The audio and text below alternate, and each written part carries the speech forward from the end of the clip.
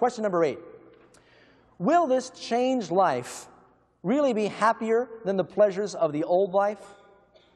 Oh, friends, you know, one of the things that made me procrastinate becoming a Christian, because I believe the Bible was true a long time before I finally gave my heart to the Lord. I thought, I'd like to be a Christian, but they don't have any fun. Oh, I'd like to be a Christian, but I'll probably have to stop drinking. And so, you know, the Lord will never force you to come to Him. Jesus invites you. He says, Come unto me. And so the Lord said, Well, if you want to continue drinking, I won't stop you, so I continue drinking. I'd wake up in jail and not know why I was there. Or I'd wake up and find out I wrecked a Jaguar XKE in reverse, and it wasn't mine.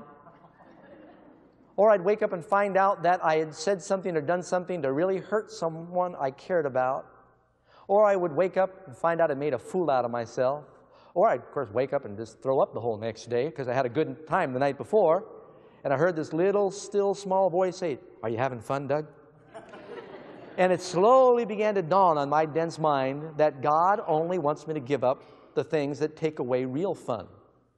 And by His grace, He helped me quit drinking and smoking and drugs and the things that were just causing all these problems in my life. I was in and out of jail all the time. Now, the only time I go to jail is to visit people. Praise the Lord.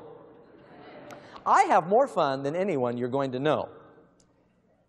My family and I, we kayak, we water ski, we snow ski, we jet ski. I'm a pilot, we fly, we have a hang glider, we hike. We just, we have so much fun. We got four wheelers and a little cabin, and we go four wheeling, and, and I could just tell you stories, and I have so much fun, and I don't feel guilty. My life is so much better now and richer now and fulfilling now that I'm a Christian. There's so much more joy. Jesus said, I came to give you life and life more abundantly. And I'm here to tell all the young people that are coming, if you're thinking, I'd like to be a Christian, but it's too restrictive, you've got the wrong idea of what Christianity is all about. I'm going to have a lot more fun than you, I promise you, with the Lord than you're going to have without Him. You're going to have trouble without God. Every good and perfect gift comes from God. The Christian life is the happy life. You'll be happier in your home, in your body, in your relationships, in your job, in your class. You'll be happy everywhere with the Lord than anywhere without Him.